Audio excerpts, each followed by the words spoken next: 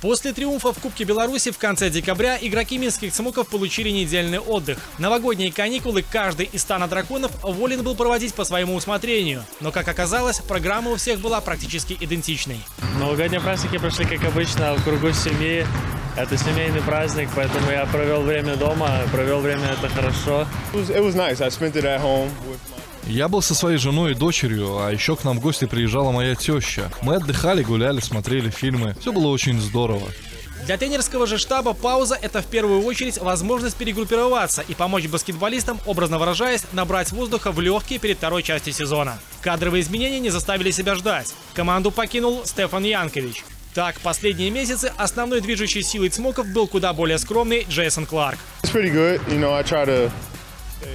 Я в порядке. Стараюсь всегда сохранять позитивное мышление и настроение. Даже с учетом того, что у нас тяжелый сезон, если смотреть на количество побед и поражений. Что касается моих продуктивных действий на площадке, то я бы не стал выделять себя из коллектива. Да, последние игры мне удаются. Я действую неплохо, но всегда есть куда расти. Хочется достичь самого высокого уровня, чтобы партнеры и тренер были уверены во мне на все 100%. Each and every day for my teammates. Выездная игра со Станой по коронавирусным причинам с 15 января перенеслась на более поздний срок. Следовательно, пауза цмоков автоматически удлинилась.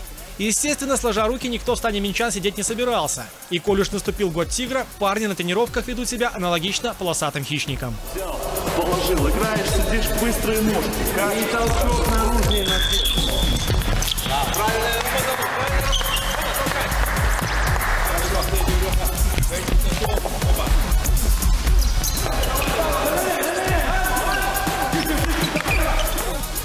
даже будучи максималистом, все время ты должен э, оставаться реалистом и учитывать все факторы, которые влияют на результат.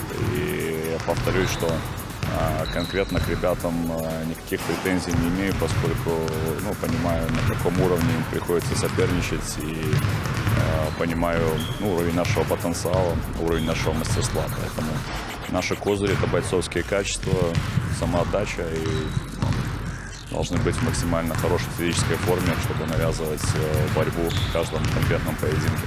Добавить все-таки нам нужно в качестве, особенно, особенно в качестве, я бы сказал.